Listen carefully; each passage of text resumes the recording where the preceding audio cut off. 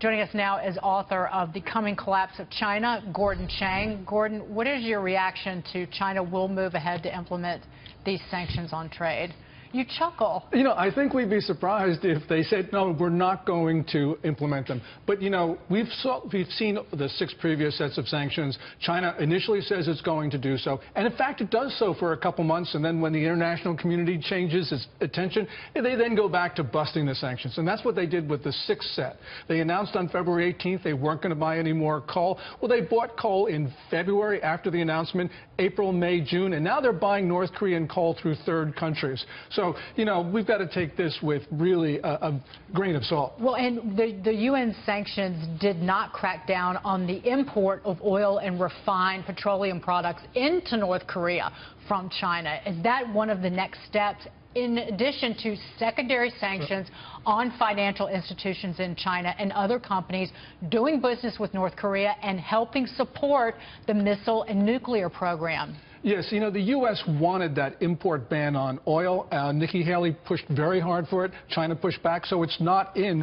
Resolution 2371. That's really going to be a problem because China supplies more than 90% of North Korea's requirements for crude oil, much of it on concessionary terms. That keeps the regime going. China supplies probably 100% of North Korea's aviation fuel, which is going to be critical if there is indeed a conflict. So, you know, Beijing has been supporting North Korea through thick and thin, and it's not just normal commerce. It's also ballistic missile equipment, probably ballistic missile technology, semi-processed fissile material. And as you point out, they've been money laundering for the North Koreans with the biggest Chinese banks, and the United States doesn't do anything. You know, in that op-ed that you talked well, about. Well, let me let me read the, read this before you jump head on me there, Gordon. Sorry, no, I'm just kidding. I want to get your reaction. So there's the Wall Street Journal editorial from Secretary of Defense James Mattis and Secretary of State Rex Tillerson.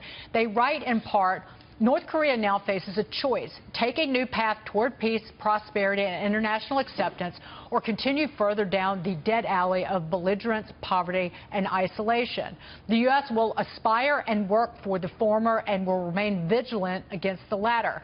This coming North Korea reportedly asked several of its ambassadors to return to the country for a meeting again, what the what the secretaries go into, they want denuclearization, no regime change, and they're willing to come back to the table with North Korea. That they're willing to talk to the country. And just your reaction, because your reaction in the break when you came out here was well, something. Well, you know, the, what you read was, we've heard that so many times before from so many different administrations. That's not new.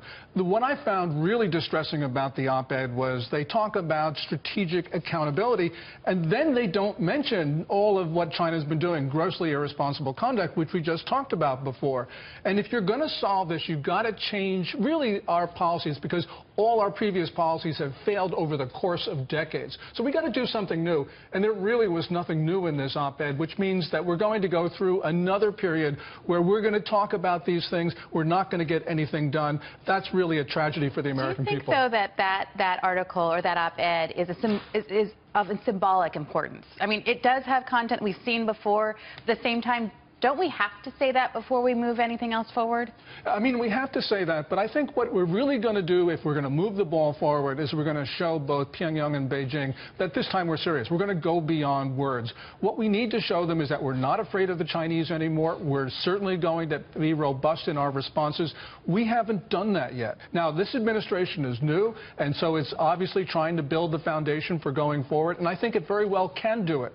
But nonetheless, we've got to see it. Gordon, uh, Henry Kissinger on Saturday had an op-ed in the Wall Street Journal uh, where he suggested that a joint campaign between the U.S. and China of coordinated actions and statements would reflect uh, North Korea's isolation to the rulers in Pyongyang. And thus, when they realize yeah. their isolation, they would then give up their nuclear program. Do you think that's realistic? Well, I don't think so. And the reason is that China has weaponized North Korea with, for instance, as we talked about, ballistic missile technology. So what we really need to do is impose costs on China so that it has no choice but to work with us on North Korea. So what we need to do is say to the Chinese, look, you can support North Korea. You can do business with the United States. but you can't do both. If we do something like that, then what Henry Kissinger talks about is realistic. But the problem with that op-ed is he doesn't say how is he going to get China to help us. And that's really the fault of there. But are, are we are we looking at a trade war though? Because as as we all know, trade wars often lead to real wars. Well, we've been in a trade war for decades. The Chinese have been waging it. We have pretended it doesn't exist. You know, for instance, today President Trump is going to investigate the need for an investigation on Chinese right. I thought intellectual property. anytime you say you're putting together a panel or we're going to do an investigation, it means that nothing will ever come of it.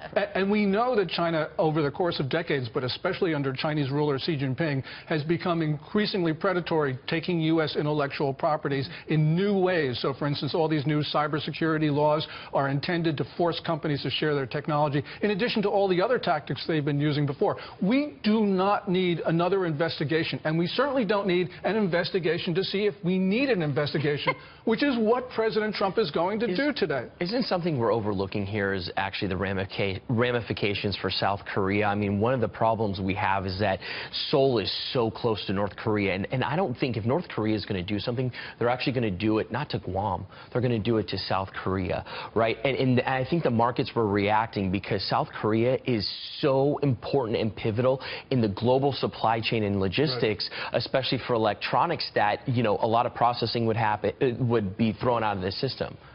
Yeah, I mean, and, certainly that is the inhibition for U.S. using force is because what the North Koreans can do to South Korea. You know, what we have seen, uh, and especially this whole issue of China's intention with regard to um, North Korea, is that, you know, they're not concerned about North Korean missile launches. They, they say they are, but what they really show their anger is, is South Korea trying to defend itself by employing the Terminal High Altitude Area Defense System, which is American built.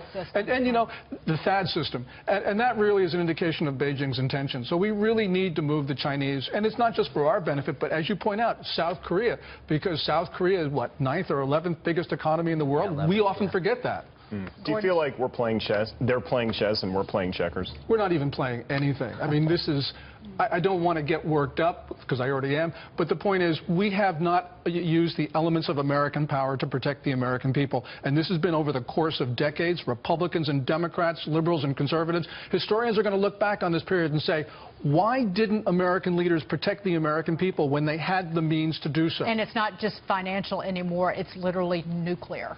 Absolutely. Gordon, it was good to see you. Gordon Thanks, Shane. Dagen. Gordon's fired up this morning.